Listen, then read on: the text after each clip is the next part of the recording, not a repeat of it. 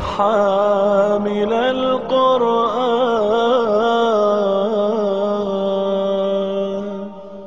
اعوذ باللہ من الشیطان الرجیم بسم اللہ الرحمن الرحیم فدخل معه السجن فتيان.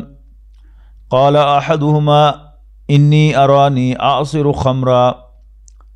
وقال الاخر اني اراني احمل فوق راسي خبزا. تاكل الطير من نبئنا بتاويله انا نراک من المحسنین. یوسف علیہ السلام کی کہانی جاری و ساری ہے۔ حضرت یوسف علیہ السلام کے بارے میں ساری نشانیاں دیکھنے کے باوجود عزیز مصر اور باقی جو بھی ڈگنیٹریز سے وہاں کے سو کالڈ سول سوسائٹی کے لوگ ان سب نے یہی فیصلہ کیا کہ یوسف کو کچھ عرصے کے لیے جیل میں بند کر ہی دیا جائے۔ حضرت یوسف علیہ السلام کو جیل میں ڈال دیا گیا۔ اب بات آگے چل رہی ہے وہ دخلا ماہ السجن فتحان یوسف کے ساتھ علیہ السلام جیل میں دو نو اور نوجوان بھی داخل ہوئے۔ جیل میں ڈالے گئے۔ قال احد ایک دن ان دونوں نے ایک ایک خواب دیکھا۔ قال احد ان میں سے ایک کہنے لگا، انی ارانی آصر و خمرہ۔ میں خواب میں دیکھتا ہوں کہ میں شراب نچوڑ رہا ہوں۔ اور مصر میں، دنیا کا بہترین انگور مصر میں اگتا ہے اور سب سے بہترین شراب بھی وہیں پر بنتی ہے۔ اور دوسرا کہنے لگا، انی ارانی احمل فوق راسی خبزن میں خواب میں دیکھتا ہوں کہ میں اپنے سر پر روٹیاں اٹھائے ہوئے ہوں، تاکل طیر من ہو جن میں سے پرندے کھا رہے ہیں یعنی نوچ رہے ہیں۔ نبی نہ بتاویل ہی یوسف، ہم دونوں کو ذرا اس کی تعبیل بتا دو، خواب کی تعبیر بتا دو ہمارے خوابوں کی۔ انا نرا کا من المحسنین ہمیں تم نیک آدمی دکھتے ہو۔ اور یہ ایک عام سی پریکٹس ہے، جیسا کہ میں بار بار عرض کرتا ہوں کہ یہ بالکل نیچرل کہانی ہے۔ داڑھی کے ساتھ انسان سفر کر رہا ہو، کسی جگہ مقیم ہو تو لوگ جو ہیں اپنے مسائل پوچھتے ہیں، یہ حسن زن رکھتے ہوئے کہ نیک آدمی ہے، یہ ہمارے مسئلے کا حل میں بتائے گا۔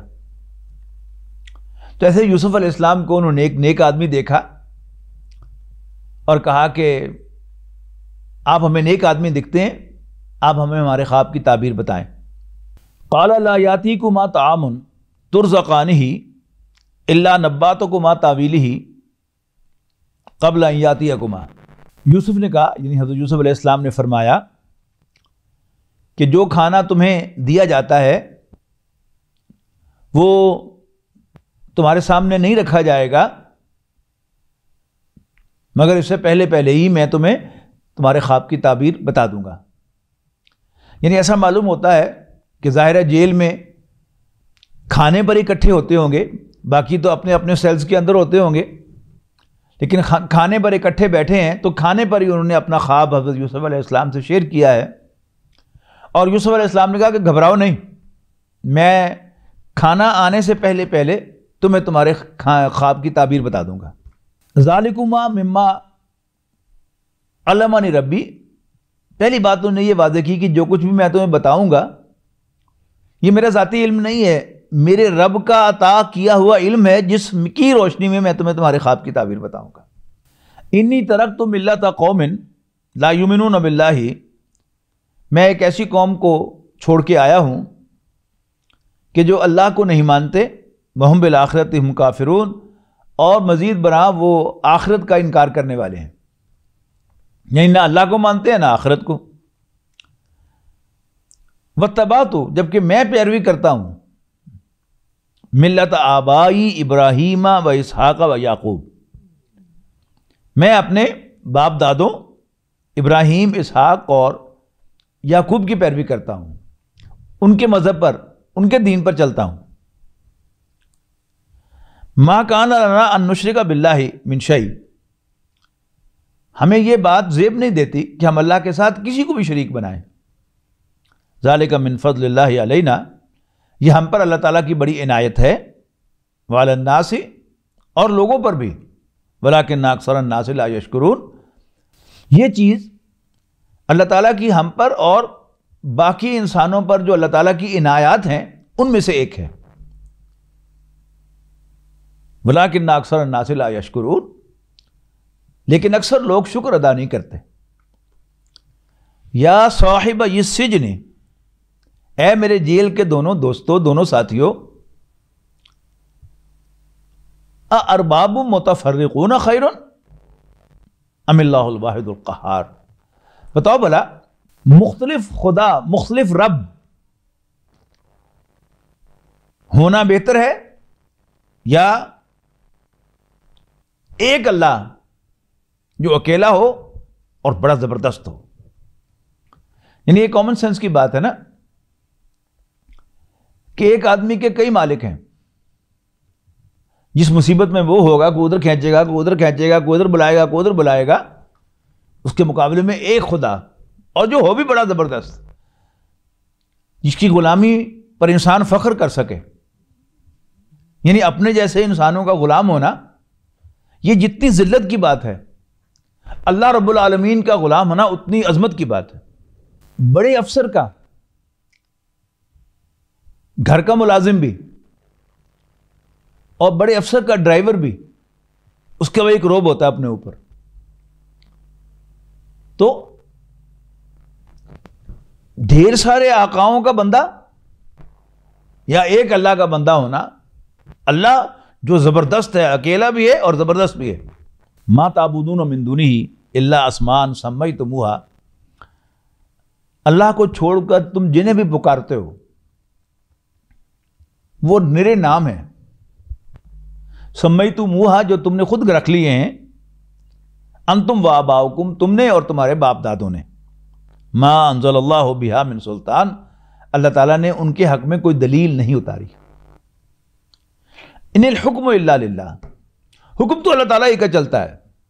ہمارا اس نے حکم دیا ہے، اللہ تعبد اللہ ہو کہ تم اس کے سوا کسی اور کی عبادت نہ کرو۔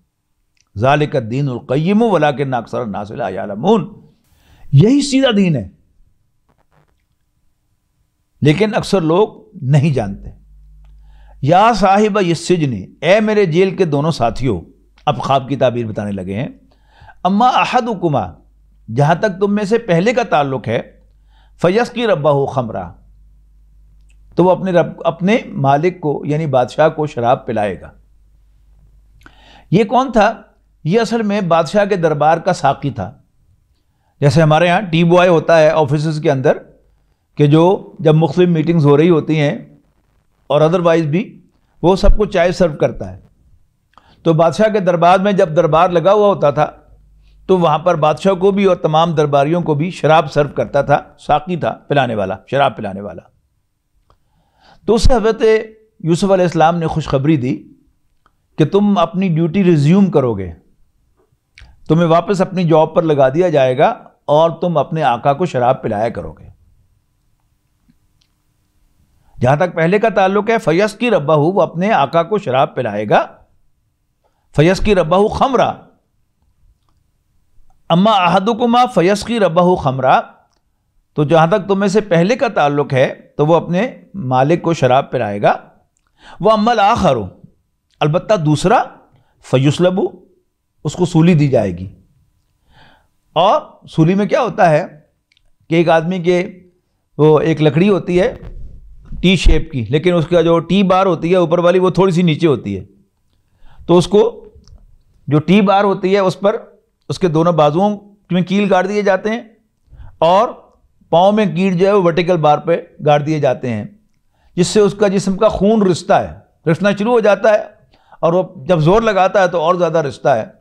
اور یوں وہ لکڑی جو ہے وہ گاڑ دی جاتی ہے زمین کے اندر اور وہ سب کے سامنے عبرت بن کر وہاں لٹکا ہوا ہوتا ہے، بلکہ کیل گاڑے ہوئے ہوتے ہیں اور وہ سامنے کھڑا ہوتا ہے۔ وہیں مر جاتا ہے اور پھر ظاہر ہے جب مر جاتا ہے انسان تو پھر پرندے اس کی بوٹیاں نوچتے ہیں۔ تو عمل آخر ہو جہاں تک دوسرے کا تعلق ہے فیوس لبو اس کو سولی دے دی جائے گی۔ فتح کو لو تیرو مرا سے ہی اور پرندے اس کے سر میں سے نوچیں گے۔ قدی الامر الزی فی ہی تستفتیان اور جس معاملے میں تم نے مجھ سے رائے پوچھی ہے، مجھ سے تعبیر پوچھی ہے، اس کے سلسلے میں فیصلہ ہو چکا ہے۔ وقال الزی ضنا انہ ناجن۔ ان دونوں میں سے وہ جس کے بارے میں حضرت یوسف علیہ السلام کا گمان تھا کہ وہ نجات پائے گا، اپنی ڈیوٹی ریزیوم کرے گا، بادشاہ کو شراب پلائے گا اس سے انہوں نے کہا، منہما ان دونوں میں سے از قرنی اندر ابک اپنے آقا سے میرا بھی ذکر کرنا کہ وہاں ایک اور بھی بے گناہ بیٹھا ہوا ہے۔ فن صاحب شیطان ہو لیکن شیطان نے اس کو بھلا دیا۔ یعنی ہمارا یہ عام محاورہ ہے کہ ہم ہر وہ چیز کے جو بری ہو، ہمیں پسند نہ ہو، ہم اسے شیطان کی طرف منسوب کرتے ہیں۔ ویسے تو یہ اللہ تعالیٰ کی پلاننگ تھی کہ وہ بھولے۔ لیکن اس کی انٹینشن نہیں تھی بھولنا۔ اس نے جو وعدہ کیا تھا یوسف علیہ السلام سے کہ میں بات کروں گا، لیکن بہرحال بھول گیا۔ انٹینشنلی بھولا۔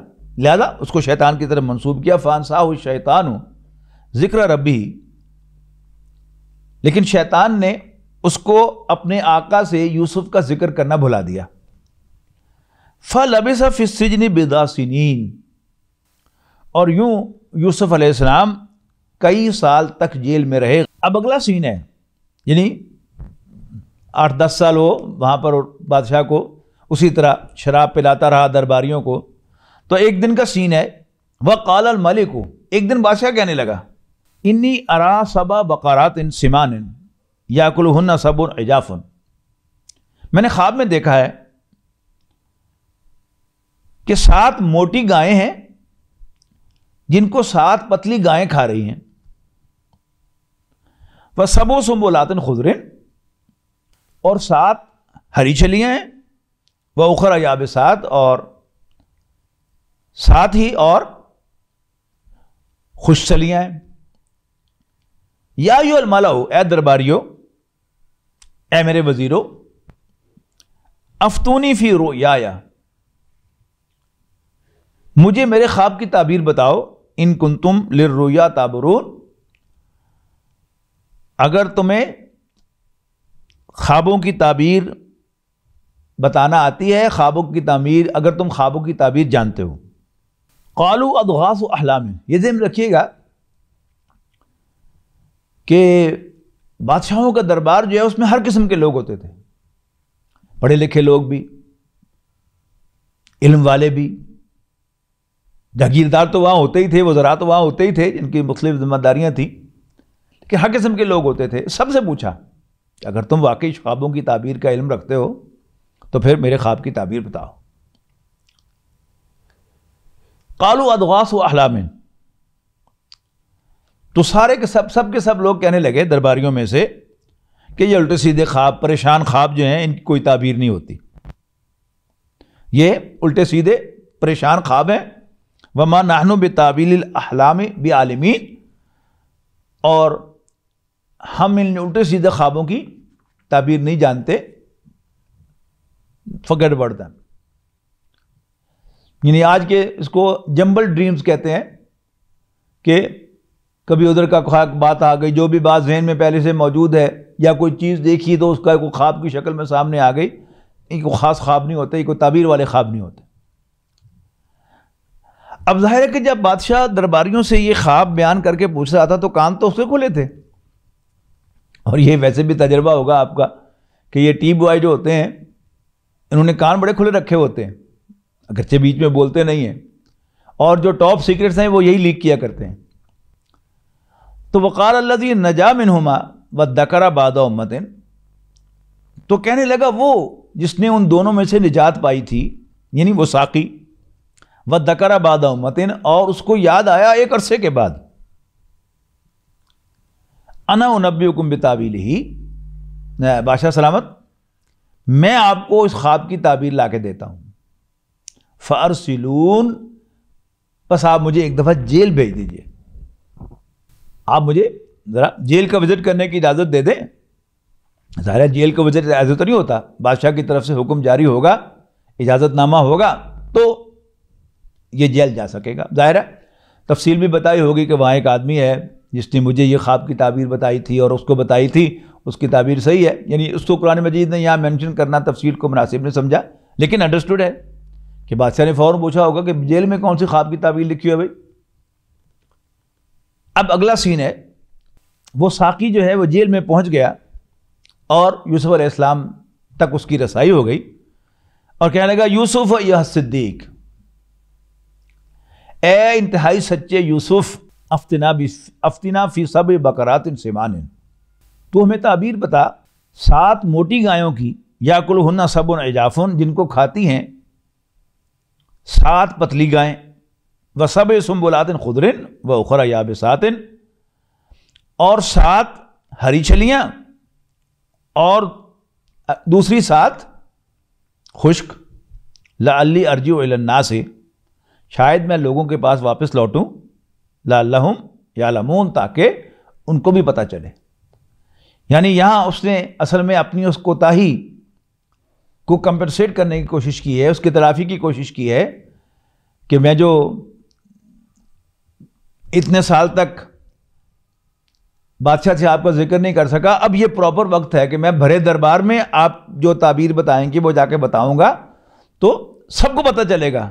کہ ہاؤ انٹیلیجنٹ آر یو آپ کتنے ذہین آدمی ہیں اور آپ کتنے کیپیبل آدمی ہیں خوابوں کی تعبیر کے سلسلے میں؟ لالم یا تاکہ ان کو پتہ چل جائے۔ کالا یوسف علیہ السلام نے اب فوراً تعبیر بتا دی۔ کالا تذرا سبا سینی نہ دابا یوسف نے فرمایا کہ تم سات سال تک متواتر کھیتی باڑی کرو گے۔ فما حسد تم فضروح فی زمبل سمبل ہی تو تم جو بھی کاٹو، اس کو اس کے خوشوں کے اندر ہی رہنے دینا۔ اللہ کلیلم مما تاکلون، سوائے تھوڑا سا جو تم برتو اس سال کے اندر۔ سمیاتی میں باد ظالی کا صبن شداد پھر اس کے بعد سات بڑے سخت سال آئیں گے یعنی قید پڑے گا، بارشیں نہیں ہوں گی۔ یا کلنا ما قدم تم لہنا یہ سات سال کھا جائیں گے۔ وہ سارا اسٹاک جو تم نے ان کے لیے رکھا ہوا ہوگا۔ اللہ کلیلم مما تو سنون سوائے تھوڑے سے غلے کے جو تم احتیاط سے رکھ لو گے یعنی اگلے سال بینے بونے کے لیے۔ سمیاتی میں بعد ظالے کا آمن پھر ان، پھر اس کے بعد ایک سال آئے گا۔ فی ہی یغاث الناس۔ ہو جس دن خوب بارشیں برسیں گی۔ لوگوں کے اوپر۔ وفیر یاسرون، اور اس میں لوگ خوب رس نچوڑیں گے۔ اب جب اس نے یہ خوابیر خواب کی تعبیر جا کر بادشاہ کو بتائی بھرے دربار کے اندر، وقال وقال الملک و تونی بھی بادشاہ بڑا امپریس ہوا یوسف علیہ السلام سے، اور اس نے حکم جاری کیا کہ اس شخص کو یعنی یوسف کو میرے پاس لے کے آؤ۔ فلما جا رسول تو جب یوسف یعنی یوسف علیہ السلام کے پاس بادشاہ کا قاصد، بادشاہ کا ایلچی پہنچا پیغام لانے والا کالارجی الا ربک۔ یوسف علیہ السلام نے کہا کہ لوٹ جا اپنے اپنے مالک کے پاس۔ فس الح ماں بال نسبت اللہ التی قطع نہ دیا ہونا اور اپنے مالک سے پوچھ کہ کیا حال ہے ان عورتوں کا؟ جنہوں نے اپنے ہاتھ کاٹے تھے۔ ان ربی بقیدی ہن علیم۔ میرا رب ان کی چالوں سے خوب واقف ہے۔ میرا رب ان کی چال سے خوب واقف ہے۔ اصل میں کیا ہے کہ یوسف علیہ السلام یہ کہنا چاہتے تھے کہ مجھ پر ایک فرد جرم عائد کر کے جیل میں ٹھونسا گیا ہے۔ اگر میں مجرم ہوں تو let me face the punishment مجھے سزا بھگتنے دیجیے اور اگر میں مجرم نہیں ہوں، تو پہلے یہ بات سب کے سامنے آنی چاہیے کہ میں نے کوئی ذاتی نہیں کی، میں نے امانت میں خیانت نہیں کی۔ بات آگے کھل جائے گی، وہ امانت کیا تھی؟ کہ عزیز مصر جو وزیر تھا، اس عورت کا شوہر۔ جس نے حضرت یوسف سے خواہش کا اظہار کیا تھا، وہ آقا تھا یوسف علیہ السلام کا، مالک تھا یوسف علیہ السلام کا۔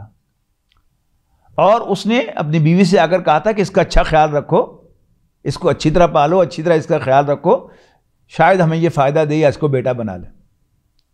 تو اب وہ گھر میں نہ ہو تو میں اس کی بیوی کے ساتھ کوئی معاشرہ کروں؟ نو۔ اصل میں نبی جو ہے یاد رکھیے گا وہی کے آنے سے پہلے بھی وہ سچا اور دیانتدار ضرور ہوتا ہے۔ نون سچا اور نون دیانتدار۔ نبی اکرم صلی اللہ علیہ وسلم پر وہی کا آغاز تو چالیس سال کی عمر میں ہوا۔ لیکن جو ہی آپ پریکٹیکل لائف میں آئے، تو مکے والوں نے آپ کو اسادق اور علمین کا خطاب دیا کہ یہ سچا آدمی ہے۔ اپنا سودا بیچنے کے لیے بھی جھوٹ نہیں بولتا۔ اور امین ٹرسٹ وردی ہے۔ جو مال یہ دیتا ہے، آنکھیں بند کر کے وہ لیا جا سکتا ہے کہ اس لیے کہ اپنے مال کا نقص یہ پہلے بتا دیتا ہے۔ مال کو مکس نہیں کرتا، خراب مال ایک طرف اور صاف مال ایک طرف رکھتا ہے۔ تو یہ ٹرسٹ وردی ہے۔ تو صادق سچا اور امین ٹرسٹ وردی اب یوسف علیہ السلام پر بھی ابھی وہی کا آغاز نہیں ہوا۔ لیکن بہرحال پوٹینشلی تو وہ نبی تھے۔ لہذا he should be known as a true and trustworthy person تو انہوں نے کہا کہ پہلے لوگوں کو پتا چلنا چاہیے کہ وہ سارا جھگڑا کیا تھا، وہ سارا مسئلہ کیا تھا۔ شو تو یہ کیا گیا ہے کہ شاید ان عورتوں کے اس اجتماع میں جس میں عورتوں نے ہاتھ کاٹے تھے، میں نے کوئی ایسی بات کی تھی جس کی وجہ سے مجھے جیل میں ڈال دیا گیا ہے۔ First let it be clear بادشاہ نے اب یہ کیس ری اوپن کر لیا۔ کالا یعنی ساری عورتوں کو اس نے بلا لیا انکلوڈنگ اس عورت کے، عزیز مصر کی بیوی کے۔ کالا ماں ختم کننا از راوت یوسف انف سے ہی بادشاہ نے سب عورتوں سے پوچھا کہ کیا ہوا تھا؟ جب تم سب نے یوسف سے اس کا جی چاہا تھا، یوسف سے خواہش کا اظہار کیا تھا۔ قلنا حاش اللہ وہ سب کی سب پکار اٹھی اللہ کی پناہ۔ ما علمنا علیہ منسو یوسف کے خلاف ہمارے پاس کوئی کیس نہیں ہے۔ ہم نے اس میں کوئی برائی نہیں دیکھی۔ اب وہ عورت بھی وہاں موجود تھی۔ تو شی ہیڈ نو چوائس کہ سب سے سب کے سامنے وہ اعتراف کرے۔ قالت امرات العزیزی۔ تو عزیز مصر کی بیوی، اس وزیر کی بیوی بھی، جس کا نام زلیخا بتایا جاتا ہے، کہنے لگی، الان حس حس الحق۔ کو اب تو حق کھل ہی گیا ہے۔ اب تو سچی بات ظاہر ہو ہی گئی ہے۔ تو میں بھی بتاتی ہوں، انا راوت ہوا نفسی ہی میں نے ہی یوسف سے خواہش کا اظہار کیا تھا۔ وہ نحول امین صادقین اور وہ تو یقیناً سچا ہے۔ ذالک یالما انی لم اخن ہو بالغائب قرآن مجید میں ایسی مثالیں موجود ہیں کہ جہاں بہت بات بہت واضح ہو، وہاں یہ واضح نہیں کیا جاتا کہ یہ کس نے کہا اور یہ کس نے کہا، جیسے صورت قاف کے اندر فرمایا کہ جات کلو نفس ماہا سائقم و شہید۔ ہر نفس قیامت کے دن حاضر ہوگا کہ اس کے ساتھ ایک اس کو ہانکنے والا اور ایک گواہی دینے والا ہوگا۔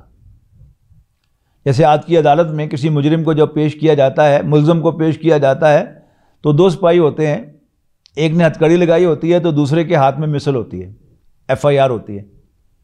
اور وہ عدالت میں جا کے پیش کرتا ہے کہ سر، یہ ہے اس کے خلاف کیس، اس کا ریمانڈ دیا جائے یا اس کو جیل میں ڈالا جائے وٹ ایور وہ کالا کرین اس کا ساتھی کہے گا، بھائی جو اس کو لے کر گیا ہے ہاضا مال ادئی آتیت یہ لیجیے میرے پاس ہے وہ سارا ریکارڈ تو اس کے ساتھ ہے القیافی جہنم اک اللہ کفار نانید یہ یعنی نہیں کہا کہ اللہ تعالیٰ کہے گا۔ یعنی بغیر اس کے کہ ہی سیٹ چی سیٹ کہ ڈال دو تم دونوں اس کو جہنم میں۔ ہر نہ شکرے کو اور اناد رکھنے والے کو۔ یہاں بھی اب چونکہ بڑا آبویس ہے کہ اگلا جملہ جو ہے وہ کیا ہے، اس کو سمجھے تو پھر بالکل آبویس ہے کہ یہ حضرت یوسف علیہ السلام ہی کا فرمان ہے۔ اسے کہ جیسے میں نے وضاحت کی کہ حضرت یوسف علیہ السلام نے اپنے مالک کے ساتھ کوئی خیانت نہیں کی اس کی عدم موجودگی میں۔ لہذا وہ اس کا اب بتا رہے ہیں کہ ذالک عالم انی لم اخن ہو بالغائب کہ میں نے یہ کیس ری اوپن اس لیے کروایا ہے، یہ کلیریفیکیشن اس لیے کرائی ہے کہ یا لما وہ جان لے کون جان لے؟ عزیز مصر کو معلوم ہو جائے، انی لم اخن ہو بالغائب کہ میں نے اس کی عدم موجودگی میں اس کے ساتھ کوئی خیانت نہیں کی۔ اس کی بیوی نے تو خیانت کر دی، اور خیانت کیا ہوتی ہے؟ یعنی دوسرا امکان کیا ہے کہ سارا یوسف علیہ السلام کا قول نہ مانا جائے، بلکہ جیسے پیچھے سے اس عورت کی بات آ رہی ہے، یہ بات بھی اسی کی سمجھ لی جائے کہ میں نے اس لیے کیا ہے، تو پھر کس کے ساتھ خیانت نہیں کی؟ اپنے شوہر کے ساتھ خیانت تو اس نے کی، اور خیانت کیا ہوتی ہے؟ خائنہ کے سر میں سینگ تو نہیں ہوتے؟ تو میں نے یہ ری اوپن اس لیے کرایا ہے تاکہ میرے مالک کو پتہ چل جائے، عزیز مصر کو معلوم ہو جائے، انی لمحہ خن ہو بالغیب، کہ میں نے اس کی عدم موجودگی میں اس کے ساتھ کوئی خیانت نہیں کی۔ وان اللہ علیہ یادی کئی دلخائنین اور یہ کہ اللہ خائنوں کو کبھی راستہ نہیں دکھایا کرتا، خائلوں، خائنوں کی چال کو کبھی کامیاب نہیں کیا کرتا۔ ساتھ ہی فرمایا، وما ابریو نفسی میں بھی اپنے نفس سے مبرہ نہیں ہوں۔ یعنی اللہ تعالیٰ نے خاص طور پر مرد کے اندر سب سے ٹاپ پر جو خواہش رکھی ہے صورت عال عمران کے آیت نمبر چودہ کے مطابق وہ جنسی خواہش ہے۔ فرمایا زجنا لناسی حب الشعبات من النساء والبنین والقناطر المقنطرت من الذهب والفضة والخیل المصومت والانعام والحرف پرکشش بنائی گئیں لوگوں کے لیے یعنی مردوں کے لیے ان کی خواہشات کی محبتیں جو انہیں لاحق ہیں، عورتوں سے نمبر ون اس کے بعد فرمایا، بیٹوں سے، پھر مال دولت کے ڈھیروں سے، پھر عمدہ نسل کے گھوڑوں سے برانڈڈ رائڈ سے، سواری سے۔ اور پھر آخری عمر میں جا کر فارم ہاؤسز بنانا، مویشی پالنا اور کھیتی باڑی کرنا۔ تو فرمایا، وما ابری ہوں نفسی میں یہ نہیں کلیم کر رہا۔ میں نے صرف یہ کیس اس لیے ری اوپن کروایا ہے کہ میرے مالک کو یہ معلوم ہو جائے، میں نے اس کی خیاط خیانت نہیں کی۔ بڑھی یہ بات کہ میرے اندر خواہش نہیں تھی۔ وہ ماں بریو نفسی میں بھی اپنے نفس سے مبرہ نہیں ہوں۔ ان نفسا لمارا تم بسو نفس تو یقیناً برائی کا حکم دیتا ہی ہے۔ اب اس میں ہر مرد جو ہے وہ اپنے گریبان میں جھانکے تو اس کو بالکل صاف سمجھ میں آ جائے گا۔ اس کا مطلب اللہ ما رحم ربی۔ ہاں اگر میرا رب مجھ پر رحم کرے تو میں بچ سکتا ہوں، ورنہ نہیں بچ سکتا۔ ان ربی غفور الرحیم میرا رب بڑا بخشنے والا اور بڑا ہی مہربان ہے۔ وقال الملک تونی بھی بادشاہ کہنے لگا ای تونی بھی، اس کو میرے پاس لے آؤ. یعنی اب یہ معلوم ہوتا ہے کہ ون ٹو ون میٹنگ جو ہے بادشاہ کرنا چاہتا ہے۔ استخلص لنفسی، میں اس کو خاص کر لوں گا اپنے لیے یعنی میں اپنے مصاحبین میں اس کو شامل کر لوں گا، اپنے ایڈوائزر میں شامل کر لوں گا، اپنی کیبنٹ میں شامل کر لوں گا۔ فلما کلمہ ہو تو جب بادشاہ نے تفصیل سے گفتگو کی یوسف کے ساتھ علیہ السلام۔ قال ان کل یوم الدینہ مکین امین کہ آج سے تم ہمارے ہاں عزت والے اور اعتبار والے آدمی ہو۔ اب ظاہر ہے، بادشاہ نے ان کے ساتھ جب گفتگو کی تو یہ تو اندازہ ہو گیا کہ بہت سمجھدار آدمی ہے۔ تو اس نے پوچھا ہوگا حضرت یوسف علیہ السلام سے کہ کوئی حل بھی ہے پھر اس کا؟ کیا کریں ہم؟ کیسے اس کو تم نے کہا ہے کہ ان کو خوشوں کے اندر رکھو، کیسے رکھے، کیسے اس کو مینج کریں؟ اب وہ جواب دیتے ہیں کالا اجالنی اللہ خزائن الارض۔ حضرت یوسف نے فرمایا کہ آپ مجھے زمین کے خزانوں پر مقرر کر دیں۔ اب زمین کے خزانوں سے مراد جو جو بھی لینڈ پروڈیوس ہے اس سارے کے ذمہ دار حضرت یوسف علیہ السلام بنا دیے گئے۔ انی حفیظ علیم۔ میں حفاظت بھی کروں گا اور مجھے مینج کرنا بھی آتا ہے۔ Leave it to me. آپ مجھے ذمہ دار بنا دیں تمام سوائل ریسورسز کا۔ میں آپ کو یہ قحط مینج کر کے دکھاؤں گا۔ ٹرسٹ می، میں ٹرسٹ وردی ہوں۔ با اعتبار ہوں اور میں اس کام کو جانتا بھی ہوں۔ وکال کا مکن لی یوسف اور یوں ہم نے یوسف کو مصر میں اسٹیبلش کیا۔ یا تب و منہا حیث یشا وہ جہاں چاہتے مصر میں رہتے۔ جیسے آج جو بھی وزراء ہوتے ہیں، ذمہ دار ہوتے ہیں، ان کو ایک صوبے سے دوسرے صوبے میں جانے کے لیے، ایک شہر میں دوسرے جانے، شہر میں جانے کے لیے کوئی اجازت نامہ لینے کی ضرورت نہیں ہوتی۔ وہ ایک آفیشیل ریپرزینٹیو ہوتے ہیں بادشاہ کے۔ وہ ایک آفیشیل ریپرزینٹیو تھے جہاں مرضی رہیں، جہاں مرضی جائیں، جہاں مرضی روک ٹوک کریں، جس کو مرضی الاؤ کریں، جس کو مرضی روکیں ہولی سولی ریسپانسبل نصیب و برحمت انعام النشا ولا ندی اجر المحسنین۔ اور ہم اپنی مہربانی جس پہ چاہتے ہیں کرتے ہیں۔ ولا ندی اجر المحسنین۔ اور ہم نیکوں کی اجر کو ضائع نہیں کرتے۔ ورا اجر الآخرت خیر الزین امن البتہ آخرت کا اجر وہ تو خوب ہے، بہتر ہے انہی کے لیے۔ اللہ دین امن جو ایمان لائے وہ کانو یا تقون اور وہ اللہ سے ڈریں۔ بارک اللہ علیہ ولکم فی القرآن العظیم ونفانی ویاکم بالآیات و ذکر الحکیم۔